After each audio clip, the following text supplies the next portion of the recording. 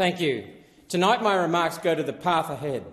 I serve my home state of Queensland, made up of many different people. Some came here first, others were born here, and others came here since. With the voice referendum legislation decided, the cohesion of our Queensland community is threatened, with the most divisive government initiative since the Vietnam War, if not ever.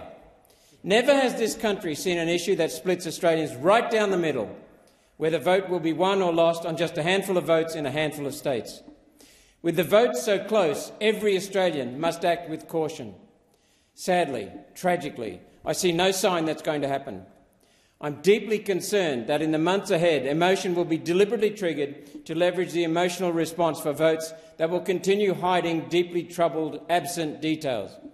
There will be appeals to fear and there will be shaming on both sides. These are evident now, and the campaign has not yet been called. Above all else, there will be disinformation, which will occur because the Prime Minister refuses to reveal the detail of the voice. Details? I don't mean the discussion document and the Uluru Statement, which are legally irrelevant to the practical application of the voice. Those documents do not form part of the vote and will not inform a legal challenge to a voice provision should one occur. I mean the legislation that will set out how the voice will work in practice.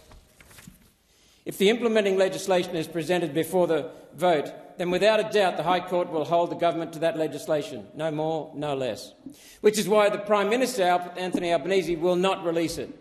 The less detail revealed, the more discretion the Prime Minister will have to introduce a woke political agenda under cover of implementing the voice, an agenda that will fundamentally reshape Australian society. Don't take my word for it. Listen to the words of voice architect Professor Marcia Langton, who only last week said, quote, People who are opposing the voice referendum are saying we are destroying the fabric of their sacred constitution. Yes, that's right. That is exactly what we are doing. End of quote. I find it difficult to reconcile the words of the architect of the voice, Professor Langton, with the words of Prime Minister, Prime Minister Albanese, who called his proposal modest. Destroying the fabric of our nation's constitution? Modest? I thank Professor Langton for her candour, and I criticise the Prime Minister for his lack of candour, his cover up, his deceit. Not that Professor Langton spoke truthfully out of a higher regard for the fundamental principles of peaceful discourse. In fact, far from it. In 2019, Professor Langton said, and I quote, it would be terribly unfortunate for all Australians if the debate sinks into a nasty eugenicist 19th century style of debate about the superior race versus the inferior race. End of quote. Who's doing that? Who's saying Aboriginal Australians do not deserve equal representation and do not deserve the same access to opportunity as anyone else in this country? Who's saying those on the no side desire less for Aboriginals than they do for any other Australian? No one's saying it. That's who. No one. Those words in and of themselves inject a level of vitriol that the Speaker has claimed is coming from the no side.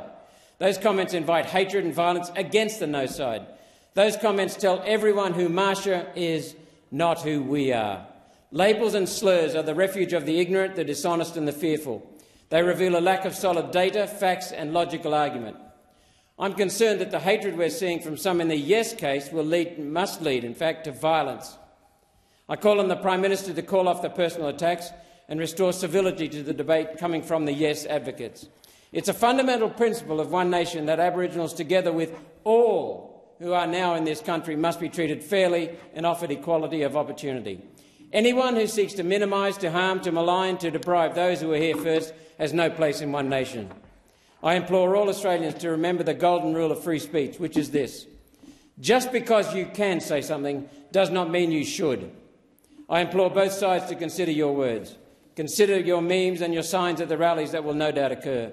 Consider that on the other side of this referendum, we will still be the same country composed of the same people, and we will all need to get along. To use an old saying, least said, soonest mended. This advice was first seen in writing in the 1606 literary classic Don Quixote. Ironically, like the voice, Don Quixote is a cautionary tale of a man who does not see the world as it is, and rather as he needs it to be in order to justify his doomed quest to vanquish imaginary enemies for his own ego. One Nation will continue to advocate for measures that actually raise Aboriginal Australians through the provision of basic services, jobs and, above all else, opportunity.